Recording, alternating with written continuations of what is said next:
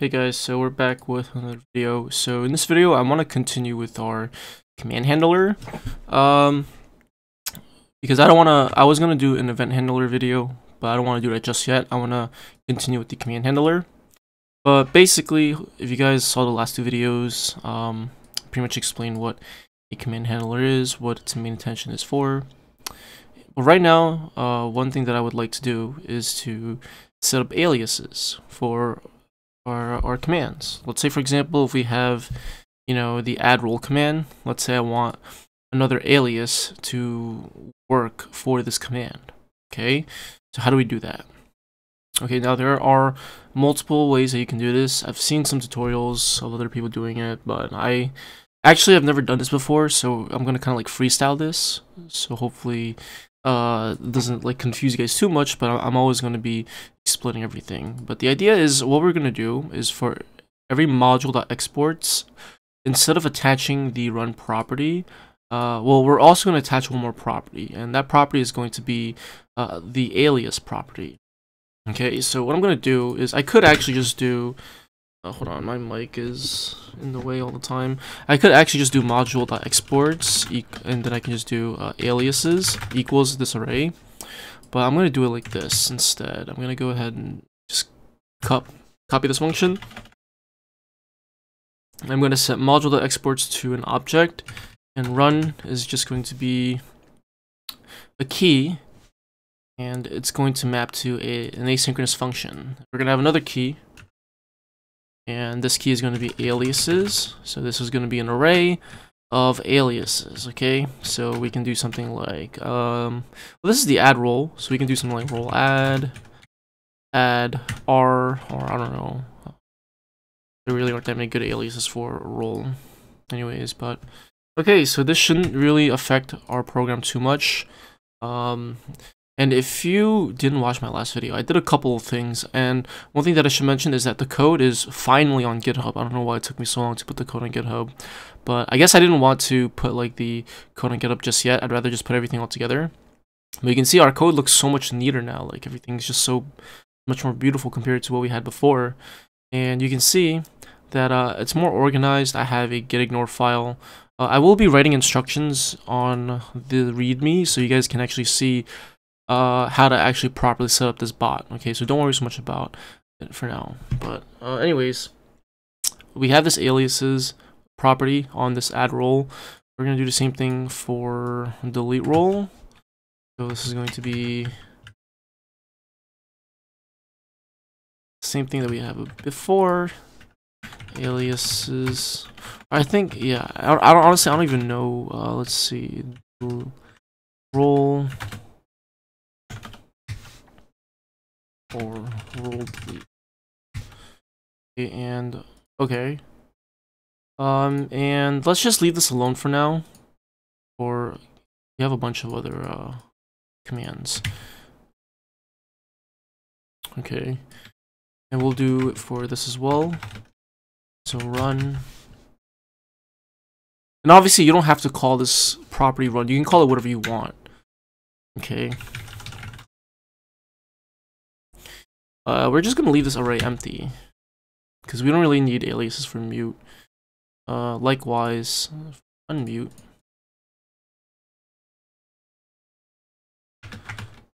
Run. This is nothing. Oh, why is that giving me? Okay. Yeah, I must have forgotten a curly brace. Okay, and kick we're gonna do the same thing for everything. So uh, I know this is pretty boring, so but don't worry, we're almost done. Uh, kick, we can just leave it alone. Same thing with ban. But the idea is what we're gonna do is we're going to map every single alias to uh, the module. Okay, and I'll show you exactly what I mean in just a sec. I'm, I don't know how the other people did it in the other videos, but I'm sure they did a different way. But uh, of course, everyone has their own implementations, so it's just really up to you on how you want to implement it.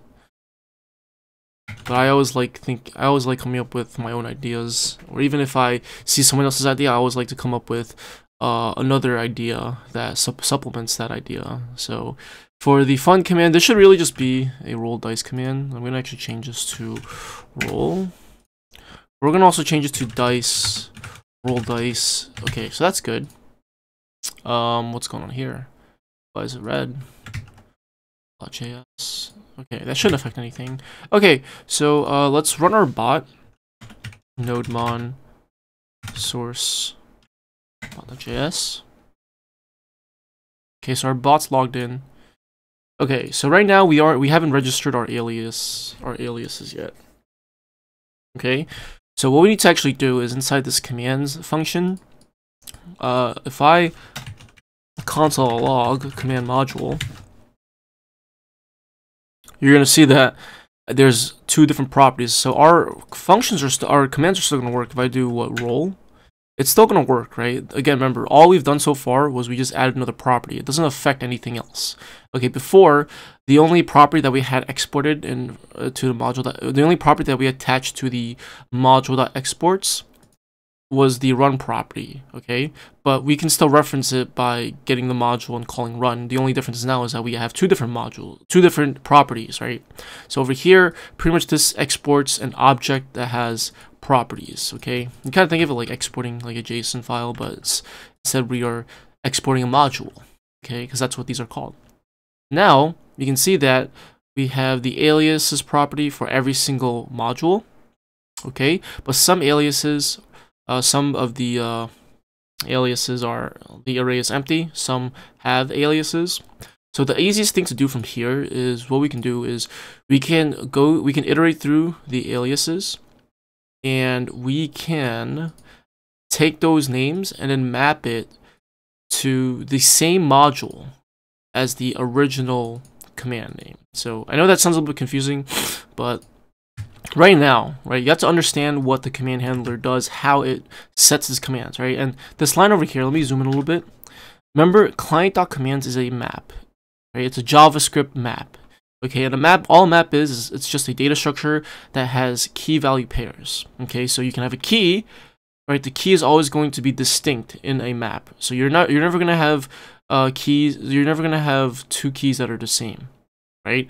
So you're going to have a key that maps to a value. In this case, what we're doing here on line 37 is we're mapping the name of the command to the, the module of that command. Okay, so for example, unmute is the name of our command name.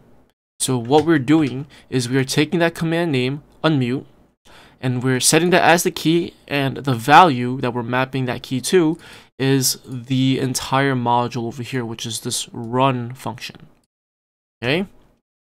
Now, what we want to do instead, right now, is since this function itself, it still has the module itself, uh, what we're going to do is we're just going to take the aliases and map those alias names to the same exact module that corresponds with the original command name. So for example, uh, let's look at our um, let's look at our roll command.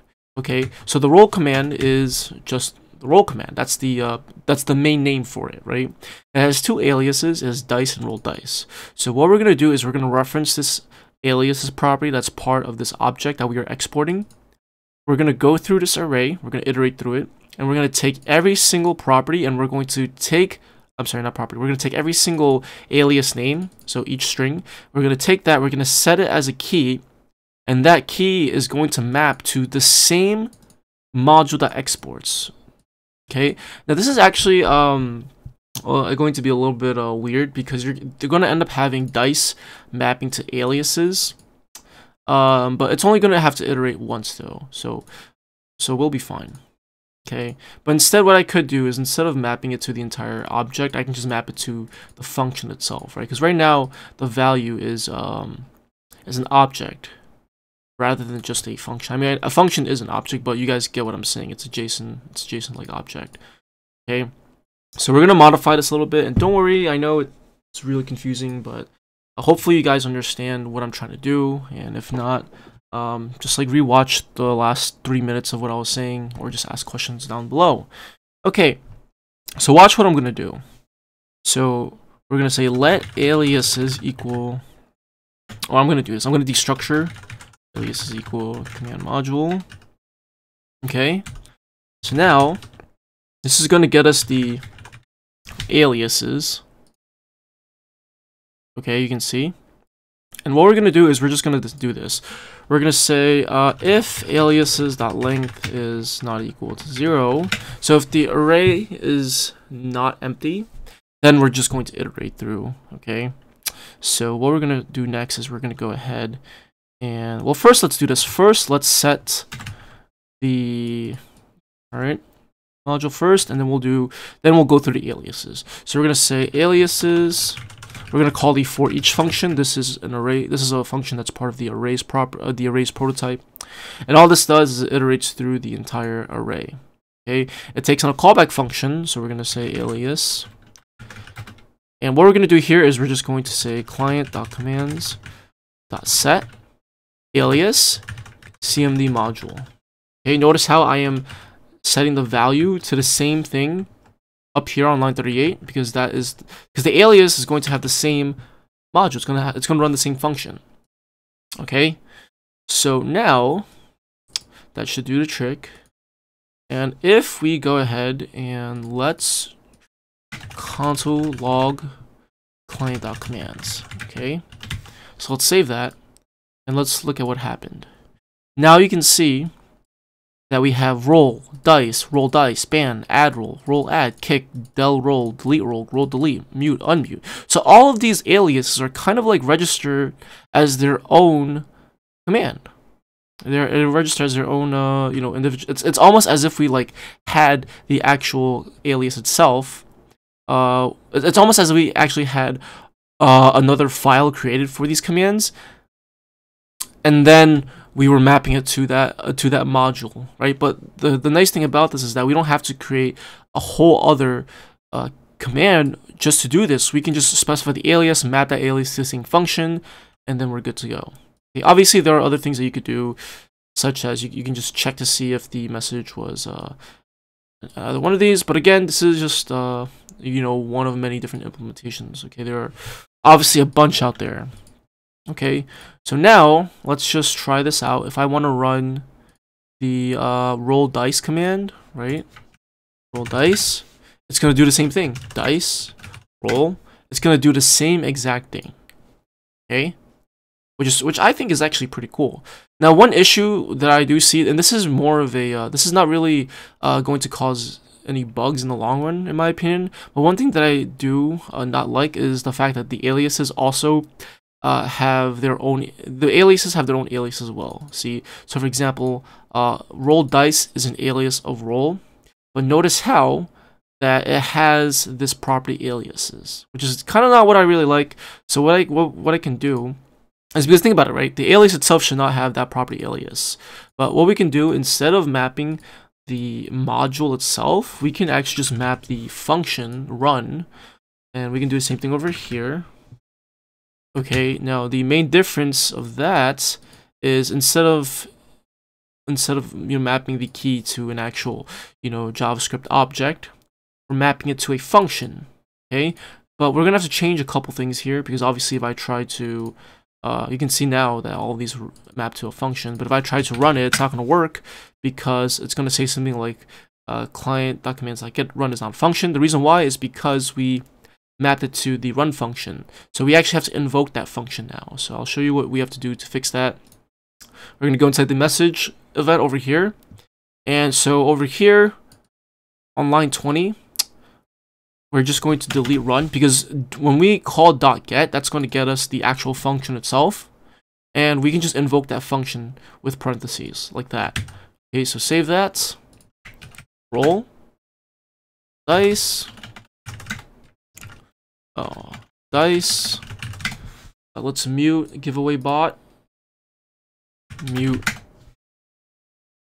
Oh, this is on. Uh, I don't have a mute role on this server. I'm, I'm on my other server. Uh, I delete the other server, but the mute role, the mute command does work though. You can see mute, mute role not found because we don't have a muted role. Um, what else? What are other things? Uh, what are my other commands? Kick, unmute add role. So the add role alias is our uh, role add. So let's do role add. nothing's gonna happen role not found. So let's give myself the Twitter role. There you go. There you go. It's that simple. So uh, yeah, that's pretty much it when it comes to creating aliases for your commands. And uh, hopefully that was pretty straightforward. So I'll see you guys in my next video. Peace.